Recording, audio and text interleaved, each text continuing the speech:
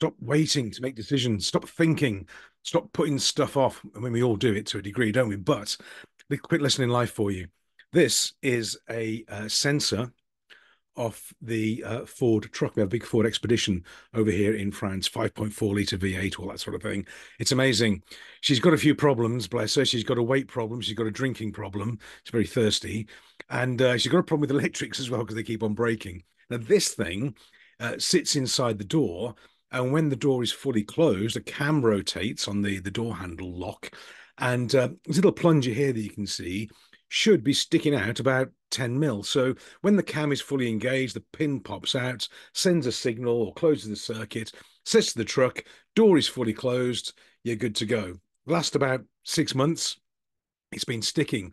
So to fix it, I've been spraying WD-40 on it. I've been slamming the door, and it's worked for a while. It's, it's worked for a few weeks, then it's stopped. Now, when this thing says the door is unlocked or open, automatic locking doesn't work. The dashboard goes crazy. There's lights all over it.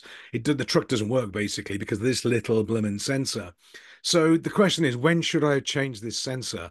I should have changed it when it first started to play up about six months ago. Why didn't I? Because it's a pain in the neck. You got to strip the door card off, take the lock out, unstrip it, strip it all down, and then figure it out, get a new one, put it in. It's a pain in the butt. Didn't want to do it, so I bodged it by slamming the door and spraying WD 40 on it.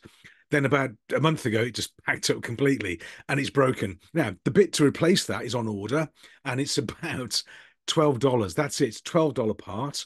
It's going to take me about half an hour to fit it. It's not a massive job. It's all okay. But how many things in life and business have we got that we are already spraying WD 40 on it or slamming the door and hoping to fix it when actually we should replace it or fix it or confront it or have the, the difficult conversation?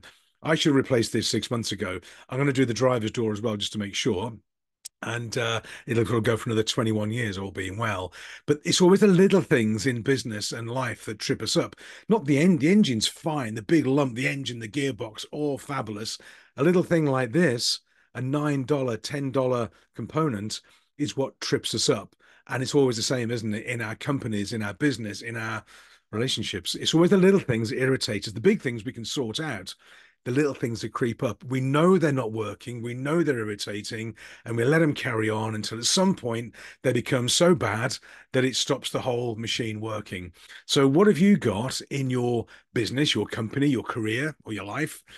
What have you got that represents one of these? Is it a person? Is it a situation? Is it something you need to fix that you know is not going to get better? There's an easy fix. It's cheap and quick bit painful. Got to strip it all down, you know, grasp your knuckles on the inside of the door. But you know you've got to do it. Stop putting it off and start getting on with it. I'll keep you posted, but it's just uh, I'm going to frame it. But there we go. Anyway, thought for the day. What are you doing in your business? What are you doing? What are you tolerating? What do you know is going to let you down? Rip it out, get it changed before it breaks. Called preventative maintenance, apparently. Who thought? Who thought that could be a good idea? Anyway, have a great day. We're in the UK on Friday, traveling. We're taking Matilda the uh, the, the, the tarantula spider with us. All more will be, will be revealed on that one. And uh, keep me posted. Have a great day. See you soon. Bye for now.